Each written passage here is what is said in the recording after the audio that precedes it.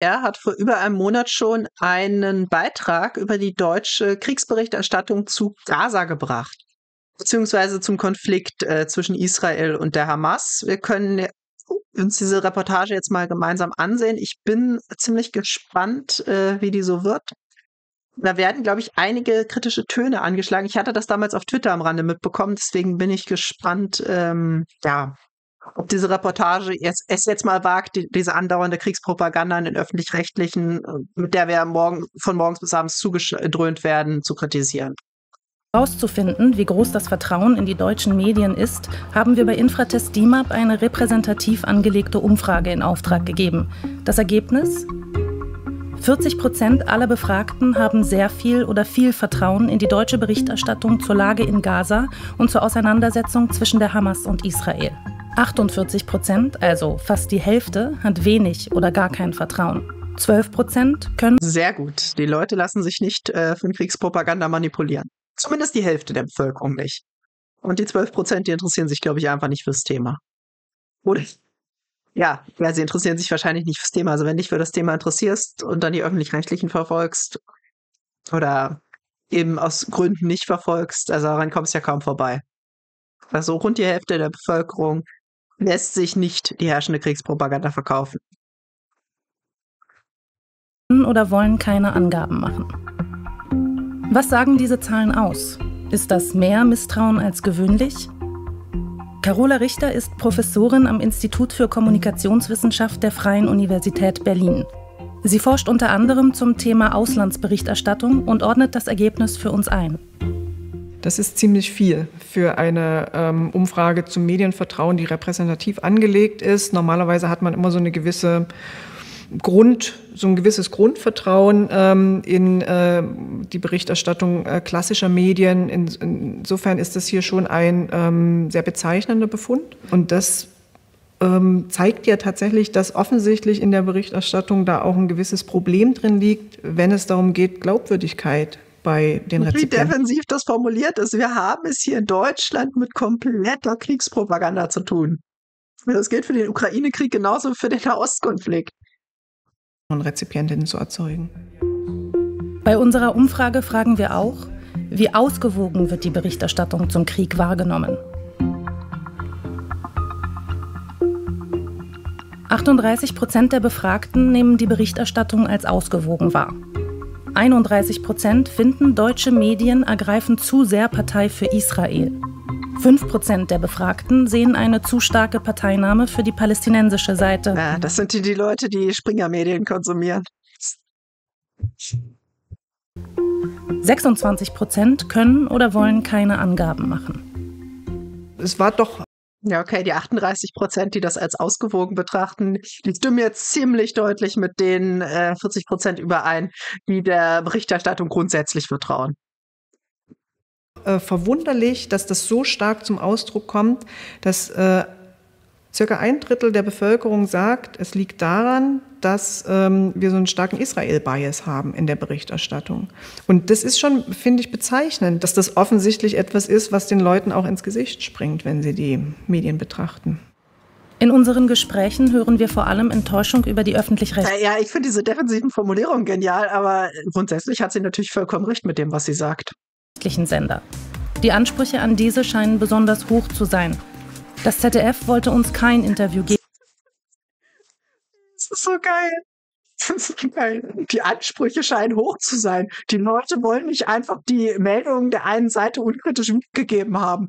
Das ist ja ein hoher Anspruch. Die wollen tatsächlich die Position beider Seiten der Leute bekommen. Also das ist ja unglaublich. Was die Leute erwarten heutzutage von den Medien. Geben. Aber Oliver Kör, Chefredakteur der ARD, ist bereit, mit uns über die Zahlen zu sprechen. Ich finde, das sind erschreckende Zahlen, also zumindest äh, keine schönen Zahlen. Ähm, und ja, es ist äh, natürlich, es sind die Medien insgesamt gemeint. Es ist nicht der öffentlich-rechtliche Rundfunk gemeint, sondern. Doch, ihr seid ganz im Besonderen gemeint. Ihr seid ganz im Besonderen gemeint. Also die Medien, also die Nachdenkseiten, denen kann man das, glaube ich, nicht vorwerfen alle Medien. Insgesamt ist es aber tatsächlich ähm, beängstigend, dass so viele Menschen keine, äh, kein Vertrauen in die Berichterstattung äh, haben, auch dass das objektiv äh, ist. Was sagt er zu dem Ergebnis, dass 31 Prozent die Berichterstattung als einseitig zugunsten Israels wahrnehmen?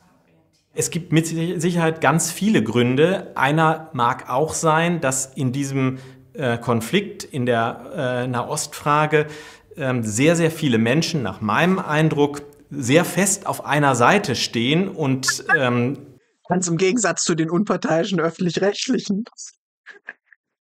Also ich kann für mich sagen, ich stehe nicht ganz fest auf einer Seite. Ich sehe aber, dass die öffentlich-rechtlichen ganz fest auf der Seite Israels stehen, weil das halt im geopolitischen Interesse des Westens ist.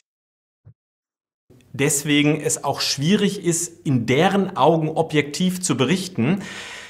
Ähm, da müsste man wirklich fragen, weshalb sind die Leute, sind die Menschen zu diesem... Ähm Israel ermordet einen, äh, ermordet, um einen Hamas-Kommandeur umzubringen, hunderte Zivilisten gezielter Angriff auf Hamas-Kommandeur. Ich weiß gar nicht, warum die Leute mit solchen Schlagzeilen ein Problem haben. Zu diesem Eindruck. Oder Israel missbraucht im Westjordanland einen verwundeten Zivilisten als menschliches Schutzschild in der Form, dass es ihn vorne auf ein Auto schnallt, äh, damit halt niemand dieses Auto angreift. Und äh, als Schlagzeile der Tagesschau ist erstmal, oder ich weiß nicht, nicht mehr, ob es die Tagesschau war, aber Schlagzeile in Deutschland ist dann auf jeden Fall, ähm, Israel untersucht diesen Vorfall. Sollte nicht der Vorfall an sich erstmal Schlagzeile sein?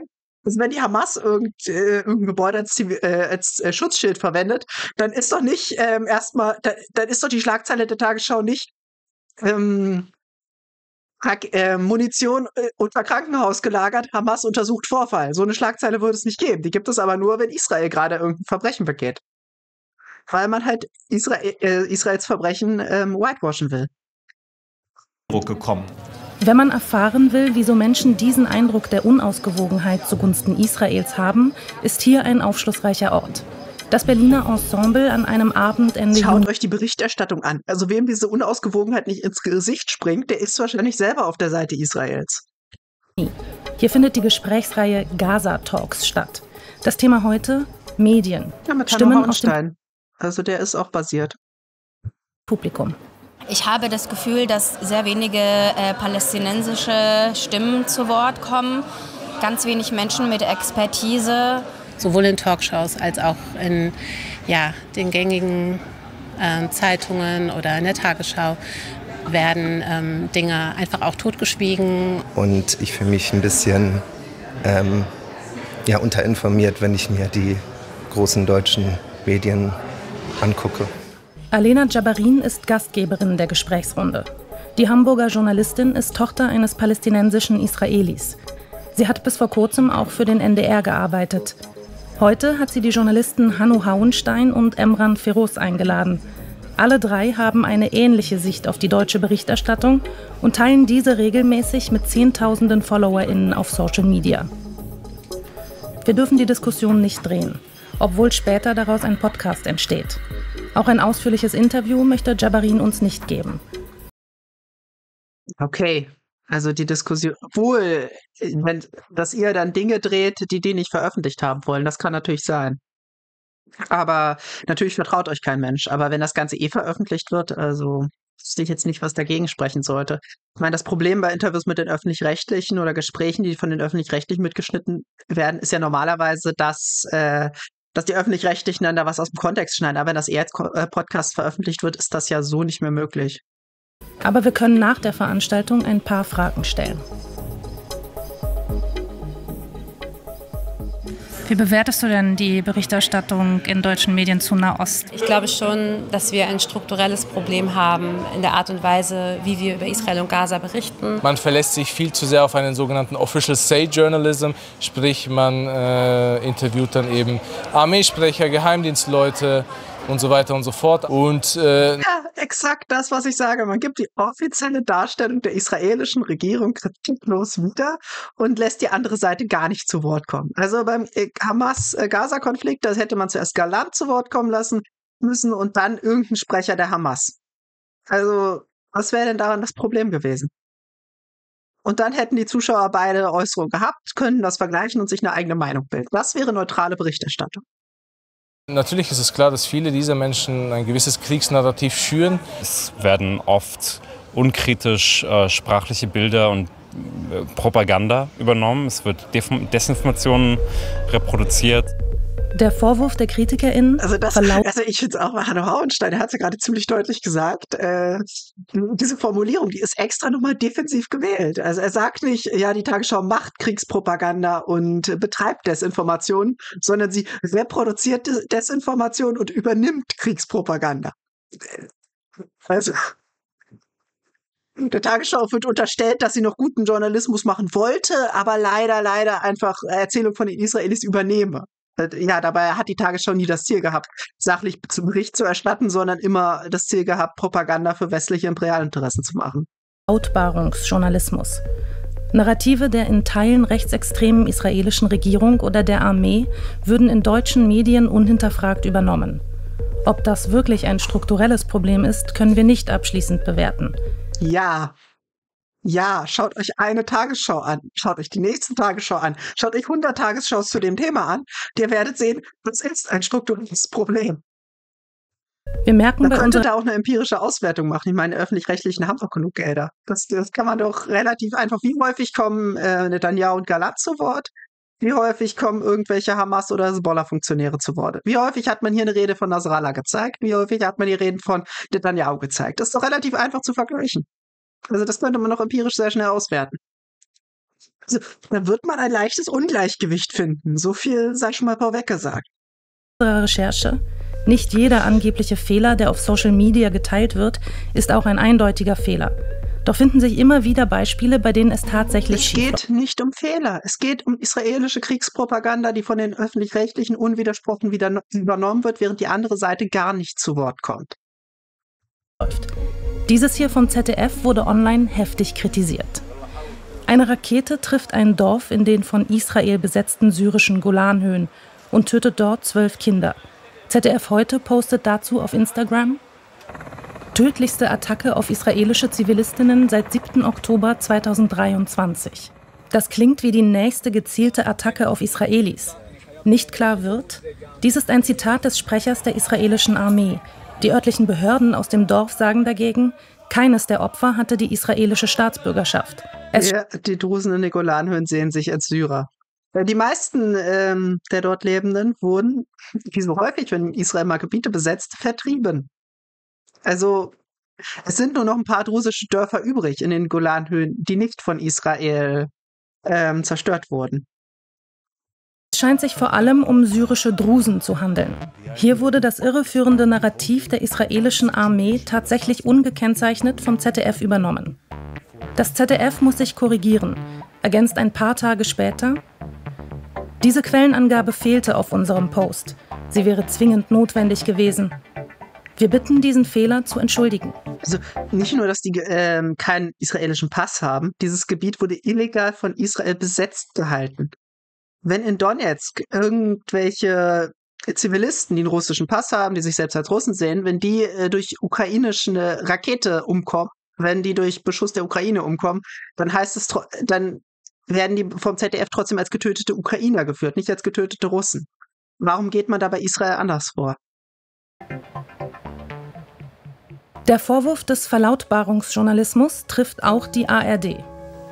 Eine Schalte in der Tagesschau um 14 Uhr vom 10. Juli. Damals ruft die israelische Armee alle BewohnerInnen von Gaza-Stadt auf, den Ort zu verlassen. Laura Gutkamp in Tel Aviv. Wohin sollen die Zivilisten denn fliehen? Das israelische Militär ähm, gibt Informationen raus an die Bevölkerung äh, dort in der Stadt vor allem über Social Media ähm, und auch durch. Die Leute haben kein Internet, die Leute haben keinen Strom. Wie sollen sie an diese Informationen kommen? Wenn dort äh, 24 Stunden später Bomben abgeworfen werden, zumal Israel schon dutzendfach in, dem von, in den Sicherheitszonen, die es selbst ausgewiesen hat, ähm, Angriffe auf zivile Ziele geflogen hat. Also Israel greift andauernd Ziele in diesen Sicherheitszonen an. Das heißt, nicht mal darauf können sich die Leute verlassen.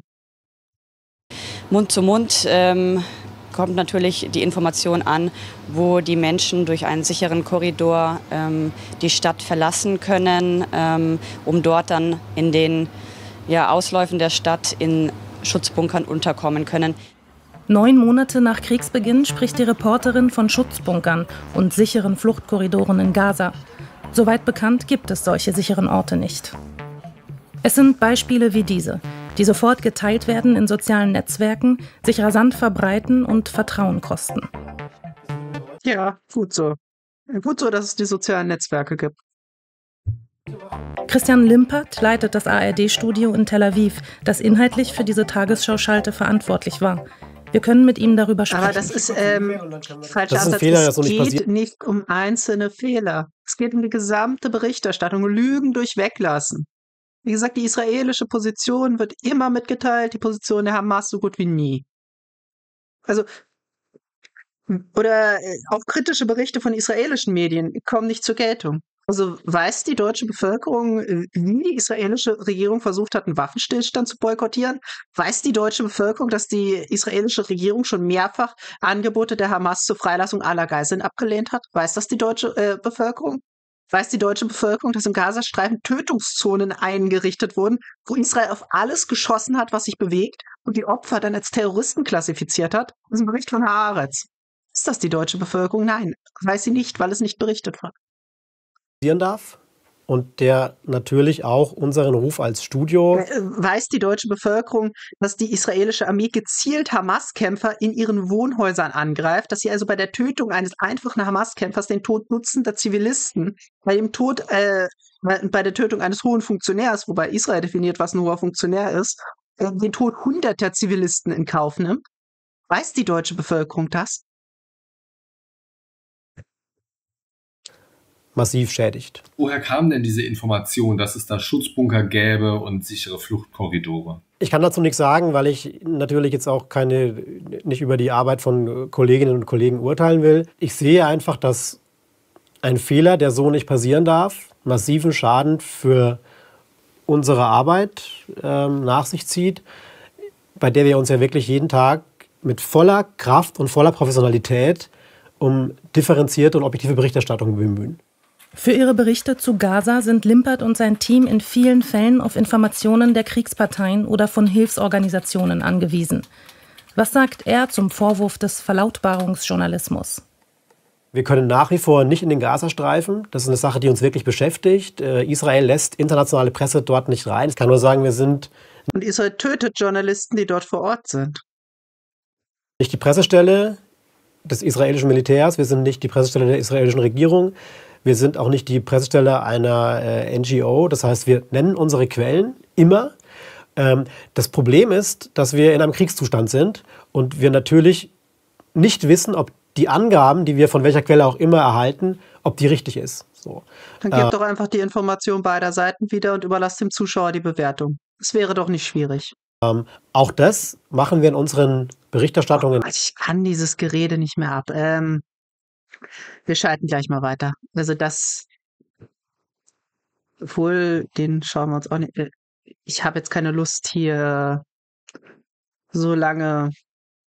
Und so, und so berichten internationale Medien. Das könnte noch interessant sein. Obwohl internationale Medien, da wird, werden jetzt wahrscheinlich ähm, britische und amerikanische Medien, die etwas ausgewogener sind, die nicht so offensichtlich Propaganda machen, gezeigt. Aber ja, wirklich neutral sind die ja auch nicht. Die sind ja auch eher pro-israelisch. Wir sprechen mit vielen Menschen, die neben den deutschen Medien auch internationale Medien nutzen. Sie haben das Gefühl, dass es große Unterschiede gibt, wie über den Krieg in Gaza berichtet wird. Ein Beispiel? Die Klage Südafrikas gegen Israel vor dem Internationalen Gerichtshof. Der Vorwurf? Israel begehe in Gaza Genozid, also Völkermord. Am 26. Januar verkündet das Gericht eine erste Zwischenentscheidung. Israel müsse Maßnahmen ergreifen, um einen Genozid zu verhindern. So lesen sich die Schlagzeilen dazu in internationalen Ja. Sogar die Times of Israel. Okay, Haaretz, äh, liberale israelische Zeitung. Ähm, ja, internationale Medien hier. Ich sage ja so andere, West, andere große westliche Medien, die ähnlich berichten. Und in Deutschland ist das dann nochmal besonders pro-israelisch formuliert. Die Rolle von Social Media, die ist übrigens auch wichtig. In englischsprachigen Social Media gibt es sehr viel mehr israelkritische Beiträge als im Deutschen. Also ich glaube auch deswegen können die en- englischen Medien sich eine zu pro-israelische Berichterstattung auch nicht leisten. Einfach weil es, weil die Leute sonst auf alternative Plattformen ausweichen würden. Wer Vor allem äh, im Englischen, da gibt es ja auch ähm, News-Angebote von überall auf der Welt. Also im Extremfall können die Leute dann einfach Al Jazeera schauen und dann kriegen sie halt ähm, die Berichterstattung, die das Emirat Katar will. Und das wollen die Mainstream-Medien auf keinen Fall, deswegen können sie nicht zu pro-israelisch Bericht erstatten. In Deutschland, da gibt es weniger Alternativen, deswegen können die Medien hier die Bevölkerung noch mehr. Also ich glaube, diese Sprachbarriere spielt da wirklich eine große Rolle. Deswegen kann man der Bevölkerung hier noch, noch mehr von der Realität fernhalten, als das im englischsprachigen Internet der Fall ist. Enttäuscht ist von den etablierten Medien und ihren Berichten über Gaza, fühlt sich online oft besser informiert. So auch diese Besucherin des Gaza Talks. Auch wenn ich nicht zu der Generation zähle, aber ich, ähm, ich oute mich und sage tatsächlich, dass ich ähm, äh, viel auf Instagram bin und auch tatsächlich TikTok konsumiere. Ausgewählt, nicht wahllos. Ähm, ich folge Menschen, die vor Ort sind, ähm, die einfach mit eigenen Ohren mit eigenen Augen und mit, mit, dem, mit der eigenen Sprache beschreiben, was dort passiert. Denn wo bitte sieht man das? Wo? Also ich sehe es in der deutschen Fernsehlandschaft nicht. Viele Menschen, mit denen wir für diese Recherche gesprochen haben, informieren sich nur noch über soziale Netzwerke. Die Berichterstattung von etablierten Medien nehmen sie deshalb oft nur noch wahr, wenn ein Account, dem sie folgen, diese kritisiert. Gut so. Ausgewogene Berichte bekommen nicht dieselbe Aufmerksamkeit. Denn zum ganzen Bild gehört auch. Ja, die es auch kaum gibt. Äh, ich habe letztens auf eine Arte-Doku äh, reagiert. Die war äh, ziemlich, äh, ziemlich gut. Äh, die war ziemlich gut gemacht. Die hat über die israelische Rechte, über ihre Pläne gut berichtet. Also es gibt gute Beiträge bei den öffentlich-rechtlichen. Sie sind nur leider in der deutlichen Minderheit. Schon seit den ersten Wochen nach Kriegsbeginn gibt es immer wieder Berichte, die sich mit palästinensischem Leid auseinandersetzen. Am 25. Oktober sendet die ARD eine Weltspiegel-Extra-Ausgabe zum Leid der palästinensischen Zivilbevölkerung. Anfang November titelt der Spiegel auf seinem Cover Albtraum Gaza. Wie weit kann Israel gehen? Im Mai berichtet die Zeit ausführlich. Ja, ein Jahr weiter können wir das beantworten. Sehr weit. Sie können sogar einen neuen Krieg im Libanon vom Zaun brechen. Über die humanitäre Katastrophe im Gazastreifen und fragt, wer hilft ihnen? Doch in sozialen Netzwerken füttern einen die Algorithmen immer wieder mit denselben Sichtweisen. Unterschiedliche Perspektiven auf ein Thema bekommt man selten es zeichnet sich ab, dass es tatsächlich so eine Form von Fragmentierung in der Bevölkerung geben wird und damit eben dann auch unterschiedliche äh, Perspektiven gar nicht mehr miteinander in Bezug kommen, dass man sich voneinander abkoppelt, was Interpretationen von Ereignissen angeht, was auch Interpretationen von Politik angeht. In Köln treffen wir Joanna Hassoun. Die Berlinerin und Deutsch-Palästinenserin leitet einen Bildungsverein. Neben Comedian Abdul Shahin ist sie eine der wenigen palästinensischen Stimmen, die mit deutschen Medien sprechen. Gemeinsam mit jüdischen KollegInnen gibt es. Die von deutschen Medien eingeladen werden. So rum müsste es eigentlich heißen. Nicht die mit, also die mit deutschen Medien sprechen. Das schon wieder dieses Framing. Also dieser Beitrag, der berichtet hier über das Framing in der Tagesschau, was kritisiert wurde und macht das selber an einigen Stellen. Workshops an Schulen in ganz Deutschland und spricht mit Jugendlichen über Antisemitismus, antimuslimischen Rassismus und den Nahostkonflikt. Israel vor der Staatsgründung. Aber die naja, Frage mehrere. ist nicht korrekt. Ja, ja. Also das nicht ist präzise. schon nicht präzise gestellt, dementsprechend. Aber zum Beispiel, dass das Griechenland ist kein Nachbarland, ist mal eine ganz gute Frage. Ja. Ja, ich habe es geschickt. Die Teilnehmerlisten hast du. Heute sind Hassun und ihre Kollegin auf dem Weg zu einer Schule in Köln-Mühlheim. Drehen dürfen wir dort nicht. Hassun beobachtet große Verunsicherung bei den Jugendlichen. Die meisten Kinder hier in Mülheim haben internationale Geschichten. Viele kommen aus muslimisch geprägten Familien. Ich nehme den Vertrauensverlust wahr, dass sie mir mitteilen, dass sie beispielsweise keine deutschen Nachrichten sehr gut, sehr gut. Also das ist eine gute Entwicklung. Gucken oder durchlesen, weil sie sich nicht wiederfinden. Und sie fühlen sich auch ungerecht behandelt. Sie fühlen sich auch in eine Ecke gedrängt. Das müssten sie sich permanent beweisen. Da ist etwas kaputt gegangen und das müssen wir tatsächlich versuchen zu reparieren oder wieder aufzufangen. Was ist da kaputt gegangen genau? Vertrauen, Akzeptanz, Zugehörigkeitsgefühl. Und wie können wir ja, Gut, also in einem Land, das andauernd Kriegspropaganda macht, das sich an einem Krieg beteiligt, den der Großteil seiner Bevölkerung ablehnt. Das gilt für äh, die autochthone Bevölkerung genauso wie für die Zugewanderte. Das ist jetzt kein großer Unterschied. Auch die meisten Deutschen lehnen das ab, was da in äh, Gaza passiert. Aber äh, ja, ein Land, äh, das so macht, das entfremdet sich natürlich von seiner Bevölkerung. Ein Staat, der so handelt, der entfremdet sich von seiner Bevölkerung. Das gilt jetzt nicht nur für Migranten. Das Reparieren? Indem wir so viele Menschen wie möglich gewinnen können, die bereit sind, miteinander im Gespräch zu bleiben. Im Gespräch. Ja, dann ladet doch mal palästinensische Stimmen ein. Also äh, ladet von mir aus einen komplett pro-israelischen ein und dann ladet jemanden ein, der pro-Hamas ist und lasst die diskutieren. Werdet ihr nicht machen. Werdet ihr garantiert nicht machen. Weil dann klar würde, dass diejenigen, die hier als pro-palästinensisch oder BDS-Anhänger oder Hamas-Propagandisten oder Antisemiten oder was auch immer diffamiert werden, dass das eigentlich sehr vernünftige, gemäßigte Leute sind, die einfach nur Frieden wollen. Das ist ja beim Ukraine-Konflikt auch so. Die russische Position darf nicht stattfinden, weil dann klar werden würde, dass Leute wie Sarah Wagenknecht eben eine sehr gemäßigte Mittelposition haben. Und eben genau deswegen darf auch die palästinensische Position in deutschen Medien nicht stattfinden. Bleiben, diskutieren können, auch über ein schwieriges Thema wie den Nahostkonflikt.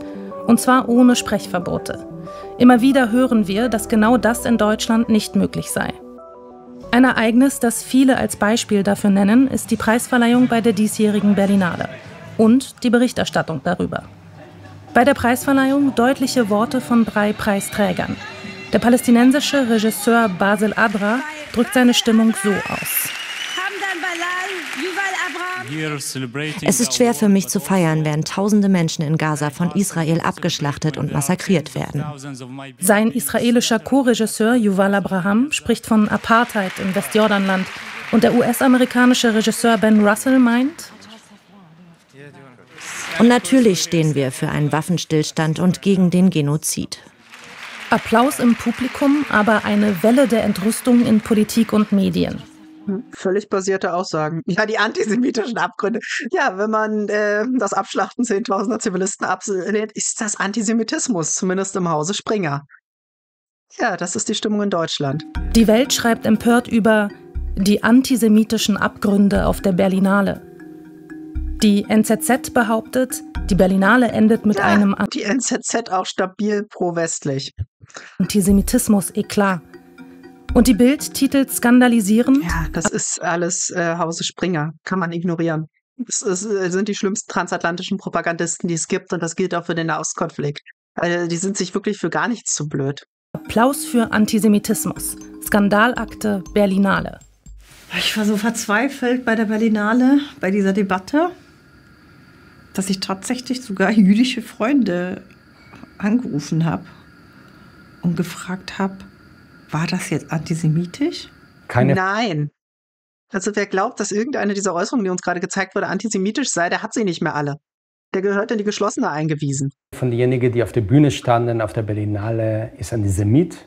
Oder auf jeden Fall kann ich nicht sagen, dass eine bestimmte Aussage, die getätigt wurde, eine semitische Aussage sei kann man durchaus sagen, das war eine anti-israelische einseitige Veranstaltung. Es war niemand dort, die oder der beispielsweise. Ja, wenn eine rechtsradikale Regierung kritisiert, äh, anti-israelisch. Ja, es, ja, okay, es war gegen die aktuelle israelische Regierung gerichtet, das mag sein. Über die äh, israelische Verschleppten gesprochen, ha gesprochen hat. Es gab niemanden, der der 7. Oktober. Ja, wenn man, ja, wenn man die Verschleppten frei bekommen will, dann braucht es einen Waffenstillstand. Die Hamas hat mehrfach angeboten, die Geiseln freizulassen, gegen die Freilassung der palästinensischen Geiseln, die sich in israelischer Gefangenschaft befinden, und gegen einen dauerhaften Waffenstillstand. Erwähnt hat. Also es wurden nur Positionen sichtbar, die ganz klar auf der palästinensischen Seite standen. Nein, das stimmt nicht. Also, okay, sie waren vielleicht gegen die israelische Regierung, aber das waren auch keine Leute, die auf Seiten der Hamas stünden oder der palästinensischen Autonomiebehörde sondern es waren einfach Leute, die für Frieden waren. Es ist die Friedensbewegung. Also das verstehen auch Leute, die einseitig positioniert sind nicht. Äh, es gibt Leute, die wollen sich in einem Konflikt nicht einseitig positionieren, die wünschen sich einfach Frieden. darüber kann man diskutieren, aber das alles jetzt pauschal als Antisemitismus zu betiteln, wäre grob falsch. Ganz klar, nicht israelbezogener Antisemitismus ist die Solidarität mit den Palästinensern. Der Wunsch, eine palästinensische Staat zu gründen, neben der Stadt Israel, ist nicht antisemitisch. Die, äh, der Aufruf Free Palestine ist nicht antisemitisch. Es fängt antisemitisch zu Wenigstens sagt er das. sein in dem Moment, wo gleich damit auch Vernichtungs- oder Vertreibungsfantasie einhergehen.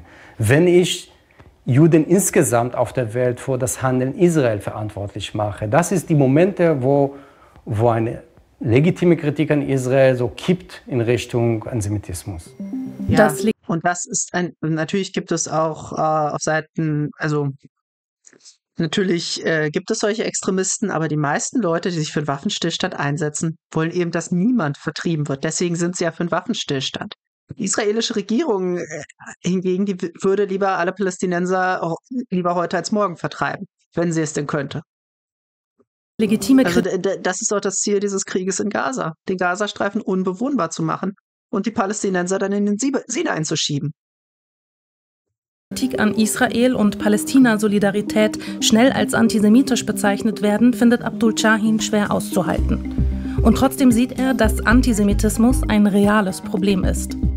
Ich bin ein Palästinenser, der nimmt nicht jeden die Palästina-Solidarität ab. Sage ich ganz ehrlich, so wie es ist. Nee, nee, nee. So, das machen die ganzen Leute nicht alle vollumfänglich wegen irgendeiner Solidarität, Bruderschaft, Verbundenheit oder sonst der Geier oder gegen Unterdrückung. Die meisten, würde ich jetzt sagen, ja, aber viele vereinzelt auch haben antisemitische Motivation. Der Kampf um die Deutungshoheit darüber, was antisemitisch ist und was nicht, wird auch über die Medien ausgetragen. Ja, wir haben noch der Fall Springer. Springer hat in seinen Grundsätzen stehen, dass man Israel und das transatlantische Bündnis unterstützen muss. Also das sind knallharte transatlantische Propagandisten, die äh, noch so dumme Lügen über ihre Gegner verbreiten. Also das, das sind wir von Springer gewohnt. Das machen die seit Jahrzehnten und das ist bei denen auch nichts Neues. Und da mag die israelische Regierung noch so rechtsradikal sein, da mag sie noch so offen sagen, dass sie äh, die Araber lieber heute als morgen vertreiben würde. Da, da kann sie noch so viele Zivilisten umbringen. Ähm, die zu kritisieren ist halt immer antisemitisch. Also der äh, Antisemitismusvorwurf aus dem Mund eines Bildjournalisten ist nichts wert. Wunsch nach mehr Repräsentation. Ich glaube, das Kapitel können wir auch überspringen. Das ist alles relativ leicht erklärt. Wir kommen mal zum Fazit. Israel ist eines der schwierigsten Themen für deutsche Medien.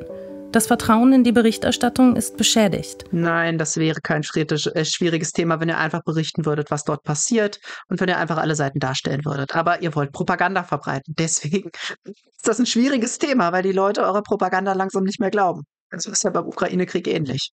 Der meistgenannte Grund? Das Gefühl, die Medien ergriffen zu sehr Partei für Israel. Dieses Gefühl wird genährt durch Fehler in der Berichterstattung. Nein, dieses Gefühl wird genährt durch die gesamte Berichterstattung. Durch fehlende Perspektiven und dadurch, dass Palästina-solidarische Stimmen teilweise auch von Medien diffamiert werden. Wir dürfen und sollen Debatten führen über die Berichterstattung, wie kann es es besser tun, wo gab es Verfehlungen. Sicherlich ist es oft auch schiefgelaufen, weil es ist einfach sehr schwierige Situation. Aber ich würde zu, zu keiner Sekunde hier die These aufstellen, es gibt hier eine geplante Kampagne, um die, Meinungs, äh, die Meinung der Bevölkerung in Deutschland auf die eine oder auf die andere Seite zu manipulieren. Wo Menschen arbeiten, werden das Fehler ist gemacht. lächerlich. Ah, ja, das ist natürlich vollkommen lächerlich. Also die Medien geben vollkommen die Sichtweise einer Kriegspartei wieder. Das ist überall so. Wir versuchen, die Fehler zu minimieren, möglichst Nein, keine. versucht ihr nicht. Ihr versucht nicht offensichtlich zu lügen, weil man das widerlegen kann, sondern ihr versucht zu frame Lügen durch Weglassen. Das ist dann eure bevorzugte Strategie. Fehler zu machen. Äh, das wird aber nie komplett gelingen. Die Medien haben eine sehr große Verantwortung bei der Berichterstattung, um so viele Menschen wie möglich abzuholen, damit wir vor allem junge Menschen nicht an Fake News verlieren. Ja, die Medien verbreiten doch Fake News. Also ist doch gut, wenn die, also ich verstehe auch ihre Logik nicht. Also wenn man die Leute nicht an Fake News verlieren will, warum verbreitet man dann selbst Fake News? Also dann ist es doch gut, wenn man die Menschen verliert, wenn man selbst Fake News verbreitet. Was passiert denn, wenn wir diese Menschen an Fake News verlieren?